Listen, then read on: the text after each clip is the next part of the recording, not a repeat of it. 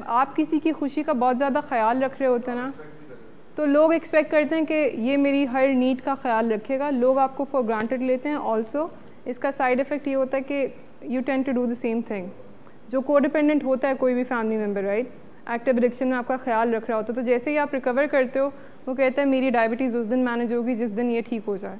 या अब इसने मेरा ख्याल रखना है। अब इसने मेरी तकलीफ़ों को जो है ना दूर करना है। विच इज़ नॉट पॉसिबल हम सबको अपने इमोशंस की रिस्पॉन्सिबिलिटी खुद लेनी है। You find decision making real challenge decision क्यों नहीं ले पाते होंगे लोग जो लोग बाउंड्रीज लैक करते हैं? क्योंकि डिसीज़न लेने वक्त आप इतना कंसर्न होते हो कि किसी को बुरा ना लग जाए, किसी को बुरा ना लग जाए। यस डिसीज़न लेने वक्त हर किसी के यू नो फीलिंग का आपको ख्याल होता है कि इसको बुरा ना लग जाए, इसको हर्ट ना कर दूँ, या कहीं मुझसे बात करना बंद ना कर दे। पीपल प्लीजर होते हैं यस दे कंसर्न के बाकी लोग क्या सोचेंगे। वो जो इंटरवेंशन की बात थी ना, आशिम साहब, एक एग्ज़ाम्पल ये हो सकती है, इस वजह से फैमिली काफ़ी बार इस वजह से पेशेंट को इंडोर ट्रीटमेंट के लिए एडमिट नहीं करवा पाती कि बाहर आके नाराज़ ना हो। या इंटरवेंशन के वक्त वो बातें नहीं लिख सकती कि ये इसको शर्मिंदगी होगी, हम नहीं बता सकते। या इसको पढ़ने में डिफ़िकल्टी होगी, बाहर आके शिकायत करेगा तो हम नहीं बता सकते। दैट इज़ बिकॉज़ वो बेनिफिट नहीं देख रहे होते वो बात बताने का या ट्रांसपेरेंट रहने का ट्रीटमेंट में। वो देख रहे होते हैं कि पेशेंट कैसा फील करेगा। The person on whom you are codependent वो क्या फ़ील करेगा? तो उसकी फीलिंग का ख्याल रख रहे होते हैं कि मैं इसको हर्ट नहीं करना चाहता। ये अपने हाथ में ले लेना कि मैं इसको खुश रखूँगा, ये ड्रग नहीं करेगा। मैं इसको नाराज़ नहीं होने दूँगा तो ये ड्रग नहीं करेगा। कुछ पेशेंट्स के केसेस में ऐसा होता है। हंड्रेड डेज़ ट्रीटमेंट के बाद भी जब वो फॉलोअप पे आने से मना करता है तो फैमिली ख़ुद भी नहीं आती कि गुस्सा करेगा। या फोर्स नहीं करती है। या यू नो इन्फ्लुएंस करने की कोशिश नहीं करती है कि या फिर से पुराने पैटर्न्स पे चले जाते हैं। फिर से उसको नहीं रोक पा रहे होते सिगरेट पीने से। या यू नो उसके स्टैंड फॉलो नहीं करवा पा रहे होते जस्ट कॉज गुस्सा करेगा। सीन क्रिएट होगा। जिन लोगों के साथ बहुत मसले हैं ना बाउंड्री सेट करने के जब अगर वो किसी को ना कह दें तो उसके बाद सुकून में नहीं रह पाते। सोचते रहते हैं कि क्या कह दिया गलत इस सिचुएशन में क्या सोच रहा होगा अगला बंदा आ, क्या फ़ील कर रहा होगा। इसकी वजह से लोग जो हैं फिर कंपनसेट करते हैं। डिगरेट ना करने के बाद कंपनसेट करना या बहुत ज़्यादा अपोलोजाइज़ करना जैसे वो कहा जाता है ना फैमिलीज़ को कि प्रवोक ना करें, वरना इनेबल करना पड़ेगा। अगर आप गुस्से से किसी को ना कह रहे हैं किसी चीज़ के लिए तो फिर गिल्ट में आके आप वो चीज़ खुद देते हैं उनको राइट right? इस चीज़ को अवॉइड करने के लिए कहा जाता है कि प्रवोक ना करें सो दैट इनेबल ना करना पड़े। ये होता है वो रिस्पॉन्सिबिलिटी लेना उसके मूड की, कि बहुत बुरा लग रहा होता है ना कहने के बाद। ट्रिक ये है कि रिस्पेक्ट के साथ ना कहें एंड ये सोच लें कि ठीक है, अगर इस, अगर मैंने इसको ना कहने इसकी बेहतरी के लिए, फिर इसको जैसा भी लगता है अपनी फीलिंग्स इसको खुद सेटल डाउन करनी है। लाइक हमें अपने बच्चों को सिखाना है कि अपने फीलिंग्स को खुद सेटल डाउन कैसे करना है और फेस कैसे करना है रादर देन कि हम इसी तैयारी में लगे रहें कि हमारे बच्चों को कभी स्ट्रेस ना हो। ये बहुत अनफेयर चीज़ है, अगर हम किसी लव्ड वन के साथ करें कि इसको स्ट्रेस ना फेस करना पड़े। बल्कि लोगों को स्ट्रेस फेस कर लेने देना चाहिए। सो दैट दे नो के मैनेज कैसे करना है। कुछ आप लाइफ टाइम किसी के साथ नहीं रह सकते हो। आप किसी को किसी को अपने ऊपर यूँ डिपेंडेंट नहीं रख सकते हो। जितना हार्मफुल एडिक्शन है, उतना ही हार्मफुल ये टॉक्सिक रिलेशनशिप्स है, ये को डिपेंडेंसी है। Two words guilt and anxiety जो लोग बाउंड्रीज लैक करते हैं, हर वक्त यहाँ तो गिल्ट में होते हैं या एनजाइटी में होते हैं। गिल्ट एज इन ना करने के बाद गिल्ट रहता है, उनको कि ना क्यों कह दिया। या किसी को अपसेट करने के बाद कि मेरी बात से उनको बुरा लग गया होगा इस चीज़ के गिल्ट में। एनजाइटी तब होती है कि जब आप हाँ कह देते हो किसी और को खुश रखने के लिए, लेकिन एनजाइटी अब आपको हर वक्त इस चीज़ की रहती है कि मुझसे हो तो नहीं पाएगा काम, ये मैं कर तो नहीं पाऊँगा ना what you're often tired for no apparent reason. If you noticed, uh, बहुत ग्लैमराइज किया जाता है उन लोगों को हमारी सोसाइटी में जो बहुत ज़्यादा काम करते हैं? मिसाल के तौर पे अगर एक आदमी अपने सब घर वालों का ख़र्चा उठाता है और अपने भाइयों की शादियाँ करवाता है और भाइयों के बच्चों की स्कूल की फ़ीस पे करता है तो उसको बहुत महान समझा जाता है राइट और कोई औरत भी अगर इस चीज़ के ऊपर बहुत प्राउड फील करती है कि सुबह उठ के रात तक काम करती रहती है और अपने रेस्ट के लिए वो ज़रा भी टाइम नहीं रखती तो इस चीज़ को बहुत अच्छा समझा जाता है। मल्टीपल जॉब्स करना बहुत अच्छा समझा जाता है। ऐसे लोग जो कि रेस्ट नहीं करते हैं, हर वक्त किसी ना किसी के लिए काम करते रहते हैं। पैसे नहीं रखते। उनकी रिस्पेक्ट नहीं है यस पैसे जो, जितने भी हैं ना, अपने पास नहीं रखते, किसी ना किसी पर खर्च कर देते हैं। एज एन वो इंसान जो जो सेल्फलेस दिखे हमारी सोसाइटी में, उसको बड़ा प्रेस किया जाता है। बुरा लगता है कहते हुए कि मुझे रिलैक्स करने का टाइम चाहिए, या आई नीड रेस्ट या फिर इस टाइम पे मैं रेस्ट कर रहा होता हूँ, इस टाइम मुझे कांटेक्ट ना किया जाए। दैट इज़ बिकॉज़ आप किसी को ना ही नहीं कह पाते, आप हर टाइम अवेलेबल रहते हो, आप अपनी एनर्जीज हमेशा लोगों के लिए स्पेंड कर रहे हो तो कि आपके पास अपने लिए एनर्जी नहीं होती। That's why these people they tend to be tired easily well rested नहीं होते। डी यू गाइज़ नो मतलब ऑटोमेटिकली इट हैपन्स कि अपनी नींद के ऊपर आप सबसे ज़्यादा कॉम्प्रोमाइज़ कर रहे हो तो मेंटल हेल्थ तो इट्स अ गिवन थिंग कि आपकी अफेक्टेड होती है। Right right? और सलान साहब, अगर आप बिल्कुल अपने लिए कोई पर्सनल टाइम नहीं रख रहे हो, आपका सारा टाइम आपको लगता है कि नाउ खजा मैं मदर तो मेरा सारा टाइम मेरे बच्चों का है। तो फिर आप अपने लिए तो वो टाइम नहीं निकाल पाते। और ऐसा भी होता है हेल्प भी नहीं मांगी जाती फिर। किसी से हेल्प भी नहीं मांगी जाती अपने काम के लिए। आप हेल्प कर रहे होते हो सबको लेकिन आप किसी से हेल्प नहीं मांग सकते। Your door is open when it comes to sharing ये वो वाली बात है कि आप ओवर शेयर कर देते हो लोगों के साथ। एज एन अगर कोई आपसे बात पूछे तो आप ओवर शेयर कर देते हो। मतलब आप पहले शुरू में आप बताना नहीं चाह रहे होते बात। बताते बताते आप पूरी बात बता देते हो। और ये वही बात है कि कभी कभी आप ऐसे लोगों को बातें बता देते हो जो कि आपके अगेंस्ट मिस यूज़ कर सकती हैं। अच्छा जो खुद बाउंड्री लैक करते हैं ना, उनके लिए भी बहुत मुश्किल होता है कि सामने वाला मुझे बात नहीं बता रहा। अगर आप किसी को डिपेंडेंट रिलेशनशिप में हो तो फिर इस तरह के आर्ग्यूमेंट्स नॉर्मल है ना कि मुझे अपना पासवर्ड दो। मैं जाना चाहता हूँ phone I want go through your phone chat देखना चाहता हूँ मैसेजेस देखना चाहता हूँ। You need to tell me everything कोई प्राइवेसी नाम की चीज़ नहीं है। We have to share everything क्योंकि आप अपनी बाउंड्रीज़ का ख्याल नहीं रख रहे होते तो ऑटोमेटिकली आप सामने वाले की बाउंड्रीज़ का ख्याल भी नहीं रख रहे हो। तो बिकॉज़ आपको ये जो हम स्टेटमेंट देते ना मैं तो दे रहा हूँ ना पासवर्ड तुम भी दे दो। You are constantly the victim of situations victim feel करना विक्टम रोल में रहना कि लोग मुझे समझते नहीं हैं लोग मुझे मिसयूज़ करते हैं लोग मेरा फ़ायदा उठाते हैं। ऐसा फील करना कि मेरे दोस्त को पता है मैं पैसे देने से मना नहीं कर सकता इसलिए यू you नो know, या इसको पता है कि मैं सबके लिए पे करता हूँ, इसलिए पार्टीज़ में मुझे ले जाता है। इस तरह वाली सिचुएशन दैन अगैन कौन सिखा रहा होता है लोगों को आप ऐसे ट्रीट कर सकते हैं? आप you're tiny bit annoyed most of the time edgy रहना। एजी लोग कौन से होते हैं? शराज साहब। पीपल आर ईजिली अनॉयड कोई भी ज़रा सी बात करे तो अनॉय हो जाते हैं। जैसे बहुत होल्ड करके चल रहे हैं और छोटी सी छोटी बात किसी की बुरी लग जाए। You secretly feel that others don't show you respect ये फॉर ग्रांटेड वाली बात है कि लोग आ, कभी भी किसी भी वक्त आपको फ़ोन कर देते हैं किसी भी वक्त वीडियो कॉल कर देते हैं एज इन इनको आपकी नीड का कोई ख्याल नहीं है एज इन कि मैं सो रहा हूँ या मैं फैमिली के साथ हूँ ये मेरा फैमिली टाइम है इनको इस वक्त मुझे कॉल नहीं करनी चाहिए। बार बार कॉल करते रहते हैं। They want you to be available all the time and कि जब आपको उनकी ज़रूरत हो वो तब अवेलेबल ना हो।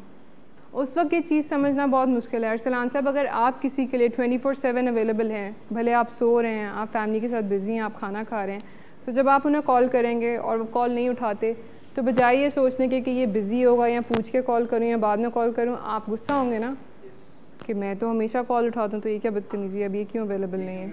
ये क्यों नहीं उठा रहा मेरी कॉल इस वजह से ना जो कभी कभी लोग फेवर्स देते हैं, वो फेवर्स टर्न होकर ऐसे हो जाते हैं कि they are bound to do that मिसाल के तौर पे कि मेरे दोस्त ने लिफ्ट देनी देनी है रेगुलरली फॉर ग्रांटेड लेते हैं कि इसके पास एक्स्ट्रा पैसे हैं तो उसने मुझे देने ही देने हैं। अगर तो पार्टिसिपेट करना तो जी, उसके बाद अगेन एरोगेंस की तरफ़ वो तब जाएगा अगर आप अग्रेसिव हैं you are only concern about your own boundaries और आप सामने वाले की बाउंड्रीज की ख्याल नहीं रख रहे हैं। यू माइट अच्छा you might just be passive aggressive passive aggressive वो लोग होते हैं जो कि बाउंड्रीज़ का ख्याल नहीं रख पाते।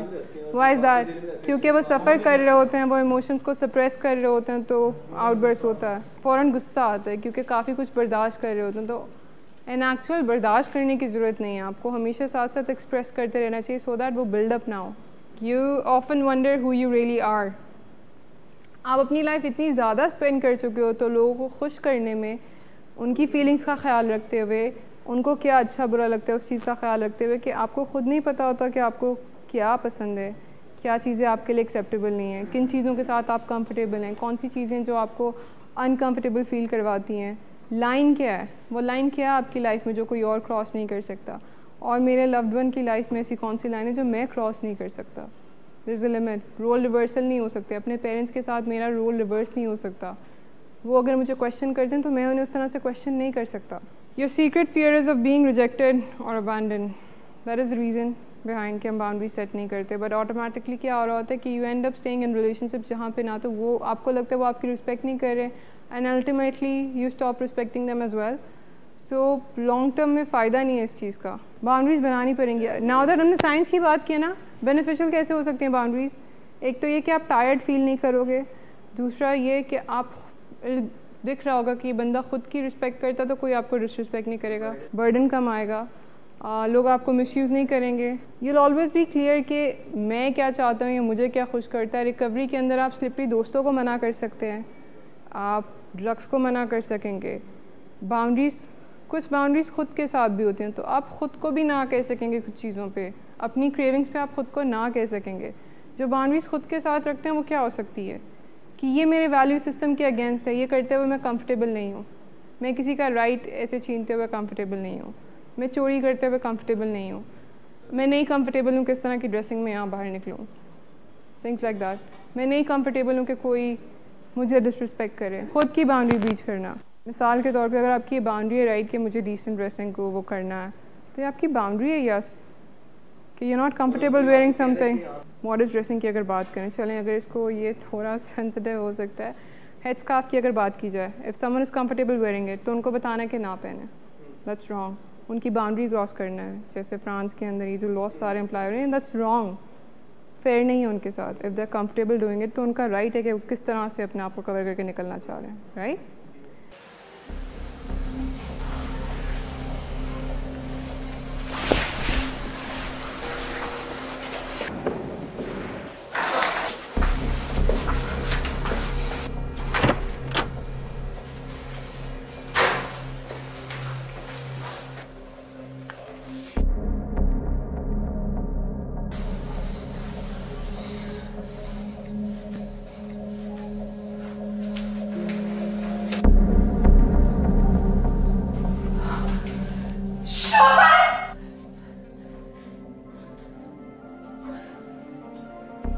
शराब नोशी की वजह किरदार की खराबी नहीं, मूड की खराबी है। शराब नोशी कभी भी नशे की बीमारी में बदल सकती है। नशे की बीमारी हर स्टेज पर काबिल इलाज है। मदद हासिल कीजिए, क्योंकि वो ऐसा नहीं करेगा।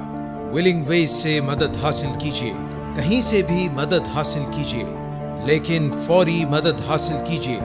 जिस मुआवजे के इंतज़ार में आपने बहुत देर कर दी, अब वो दस्तक दे रहा है। मदद हासिल कीजिए। मदद हासिल कीजिए। मदद हासिल कीजिए। सेट योर बाउंड्रीज ठीक है? बाउंड्रीज़ को सेट करना इस तरह से कि क्योंकि अब नहीं की हुई हैं तो अब करनी पड़ेंगी एंड टेक टाइम और कुछ स्टेप्स लेने पड़ेंगे। बाउंड्रीज सेट करने के लिए सबसे पहला काम करना ये ज़रूरी है कि आइडेंटिफाई कर लें कि बाउंड्रीज़ हैं क्या। मेरी बाउंड्रीज़ क्या हैं?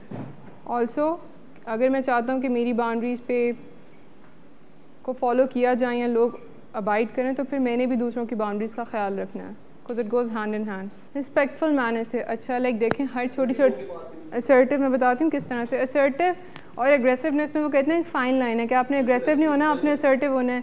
लेकिन आपने हर छोटी बात पे जाके अम्मी को ये नहीं कहना कि, अम्मी, ये मेरी बाउंड्री है। अम्मी, ये नहीं करें, ये मेरी बाउंड्री है। आप बता सकते हैं कि आपकी बाउंड्री क्यों है, या आपको कैसा फील करवाते हैं? जैसे कुछ सिचुएशन में अगर आपको लगता है ना कि ठीक है, मैं बात अम्मी की मान रहा हूँ, लेकिन मैं दिल से नहीं मान रहा हूँ। तो बता दें कि अम्मी, ये सिर्फ़ मैं आपके लिए कर रहा हूँ। वैसे मैं am not too comfortable doing it so that she knows ताकि जो बाद में जाके आप एक्सपेक्ट करें ना कि अम्मी को अप्रिशिएट करना चाहिए था, मैंने अम्मी के लिए किया। So that she is aware फिर आप एक्सपेक्ट कर सकते हैं कि अम्मी अप्रिशिएट करें। रादर देन कि आप चुपचाप कर ही जा रहे हैं, अम्मी को पता भी नहीं और आप एक्सपेक्ट कर रहे हैं कि अम्मी अप्रिशिएट करें, वो पॉसिबल नहीं है। Decide what the consequences are if someone breaks one of your rules आप बाउंड्री सेट करते हैं बट सामने वाला फॉलो नहीं करता। मिसाल के तौर पर आप किसी को ना कहते हैं कि आज शाम बाहर हैंग आउट नहीं किया जा सकता। और उसको लगता है कि मैं इससे बार बार कह के ना प्लीज़ प्लीज़ प्लीज़ चलो, और आप उसको कहीं जा रहे हो ना। तो उसका कॉन्सिक्वेंस क्या होना चाहिए? मल्टीपल टाइम्स रिस्पेक्ट के साथ आप उसको बता चुके हो कि नहीं जा सकता। फिर आप उसको रिक्वेस्ट करते हो कि, नहीं प्लीज़ इस बारे में ना बात करें, मैं अब मतलब बता चुका हूँ आपको ऑलरेडी इसकी एक एग्ज़ाम एट दी क्या होगा? अगर वो प्लीज़ प्लीज़ कही जाए, आप अपने जवाब से नहीं हटते हो ब्रोकन रिकॉर्ड टेक्निक कि आप ना ही कहते हो। देन राधा देन कि आप ये सोचो, इतना फोर्स कर रहे हैं, आज चला जाता हूँ, आप इस पर स्टिक करते हो कि नहीं, इससे मेरी बाउंड्रीज़ बनाने की जो पावर है ना, वो वीक होगी। कि ये मेरी बाउंड्री है, लेकिन इसको मैं खुशी से, इसलिए इन्जॉय कर रहा हूँ कि सामने वाला बंदा इंपॉर्टेंट है तो मुझे करते हुए अच्छा लग रहा है। इसमें क्वेश्चन ये कि अगर आप सिर्फ़ इसलिए कर रहे हो सामने वाला बंदा इंपॉर्टेंट है, लेकिन करने के बाद आपको बुरा लग रहा है या गलत लग रहा है तो फिर नहीं करना चाहिए। यू गेट इट कि रिलेशनशिप्स में ये लेवरेज दी जा सकती है। Be firm as an firm मतलब कि अपनी अभी आते हैं डिसाइड वाली बात पे। कॉन्सिक्वेंसेज क्या हो सकते हैं? जैसे आप किसी को कहते हैं ना कि नहीं काम डाउन हो जाओ, फिर इसके ऊपर बात करते हैं, ऐसे गुस्से में तो आपसे बात नहीं की जाएगी। और सलान साहब लाइक आप किसी के साथ आर्ग्यूमेंट में हैं, वो आपको बुरा भला कही जा रहा है तो आप उसको कह रहे हैं कि काम डाउन हो जाए। और अगर वो नहीं हो रहे तो फिर आप रैप अप करके उनको कि ठीक है बाद में बात करते हैं आप थोड़ा काम डाउन आप चले जाते हो आप वहाँ रुके नहीं रहते हो। वो चीज़ कंटिन्यू होती रहेगी। मिसाल के तौर पे अगर आप कहते हो ना कि ये बाउंड्री आप क्रॉस करते हो तो मुझे अच्छा नहीं लगता। तो फिर कॉन्सिक्वेंस ये हो सकता है कि आप दोबारा उससे बात करते हो कन्फ्रंट करते हो और बता देते हो कि फिर इस तरह से दोस्त नहीं रहा जा सकता। Communicate the above clearly make your boundaries known बताना ज़रूरी होता है कि ये मेरी बाउंड्रीज़ हैं और कभी कभी यस के क्यों हैं? और कुछ सिचुएशन में बिल्कुल रीज़न देने की ज़रूरत नहीं है कि ऐसा क्यों है। मिसाल के तौर पे कि मेरे पास पैसे हैं एक्स्ट्रा लेकिन मैं नहीं अभी देना चाहता। मेरे कुछ काम है। अब इसके लिए आपको किसी बंदे को डिटेल से बताने की ज़रूरत नहीं कि आपके क्या प्राइवेट काम है या किन पर्सनल नीड्स के लिए आपने पैसे रखे हुए हैं। अच्छा जैसे आपने बात स्टार्ट की नहीं बहुत ज़्यादा ऑफेंडिंग है। इसको इस तरह से किया जा सकता है कि मुझे आपसे बात करनी है आ, कुछ चीज़ों के ऊपर जिसकी वजह से मैं प्रोवोक हो जाता हूँ या मुझे बुरी लगती हैं मुझे बुरी लगती हैं। वो आई स्टेटमेंट है ना फिर आप बताते हो कि जो इस तरह से आप बात करते हो ना आई नो आपका कंसर्न है लेकिन आई फील लाइक कोई बेहतर तरीका हो सकता है। आप मुझसे आराम से बैठ के बात करें, मैं आपकी बात सुनूँगा अभी मतलब कंसर्न आइडेंटिफाई करें ना, सामने वाले के सामने वाले ऐसा क्यों कर रहा है? तो टेबल टॉक तो इस तरह से होनी चाहिए ना कि मैं आपके कंसर्न सुन रहा हूँ, आप भी मेरे सुनिएगा। आई लैंग्वेज का इस्तेमाल करना। Follow through if someone crosses your boundaries do what you said you would be compassionate but be firm compassionate as in disrespect ना करें रिस्पेक्ट के साथ करें। कुछ रिलेशनशिप तो मैटर करता है। और अगर कोई ऐसा रिलेशनशिप है ना, जैसे स्लिपरी दोस्त वाला तो फिर उसको अगर एंड भी करना पड़े तो फिर आप एंड करते हो, लेकिन डिसरिस्पेक्ट करके उसको भी एंड करने की ज़रूरत नहीं एंड कर देते हो, लेकिन फर्म रहते हो कि नहीं, ये दोस्ती कंटिन्यू नहीं कर सकता अपनी लाइफ के लिए, अपनी सेहत के लिए कंटिन्यू नहीं हो सकता। फर्म रहने वाली बात ये, वो जो पेरेंट्स को भी कहा जाता है टफ लव टफ लव के प्रिंसिपल में, कि वो स्टेटमेंट्स पास ना करें जो आप कर नहीं सकते हैं, और अगर कर दिए और करने के बाद मुश्किल भी हो रही है करते हुए तो फिर उसको पूरा करें। फॉर एग्ज़ाम्पल अगर आपने किसी को कह दिया ना फ़र्स्ट ऑफ़ ऑल तो ऐसी इतनी भरी बात कहनी नहीं चाहिए कि इसके बाद तुम्हारी शक्ल नहीं देखूँगा अगर तुमने ऐसी किया मेरे साथ। बट अगर ये चीज़ कह दी हुई है तो फिर उसके बाद उनकी शक्ल ना देखें। बिकॉज़ कह दी है। हाँ, वो पेरेंट्स की हम गलतियाँ नहीं गिन रहे हैं। एग्जाम्पल्स डिस्कस कर रहे हैं। फ्लेक्सिबल वाली बात की थी कि कुछ सिचुएशन में फ्लेक्सिबल होना होता है। Also Zaigham sahab we talking about this right कि बाउंड्री सेट नहीं होती किसी स्टोन के अंदर पत्थर के अंदर नहीं लिखी जाती कैसी रहेंगी। Over the period of time हम सब सीख रहे होते हैं। आप सीख रहे होते हैं वो सीख रहे होते हैं तो उनको भी सिखाएँ। मतलब पेरेंट्स सिबलिंग्स स्पाउस आपके बच्चे ये ऐसे रिलेशनशिप्स हैं जिन पे आप गिवन नहीं कर सकते ना तो इन सिचुएशन में कहा है कि फिर बाउंड्रीज़ को आपको बैठ के डिस्कस करते रहना। आई एम नॉट सेइंग कि गिव अप कर दें उन पर बट एक सिटिंग में शायद ना हो सकें। आप बताते रहें उनको, वो बताते रहें अपने रीजन तो हो सकता है कि आपकी बाउंड्री वो सेट करना ही गलत हो। फिर भी फ्लेक्सिबल की चीज़ चेंज की जा सकती है। बट इस सब में ये हो कि you feel you know you being heard आपको ये हो रहा है कि एटलीस्ट मुझे सुना जा रहा है। एटलीस्ट ये कंसिडर किया जा रहा है कि मेरी बाउंड्री कैसी है? रादर देन कि आप पैसिव हैं आप बता ही नहीं रहे हैं और यू कीपिंग एवरीथिंग इनसाइड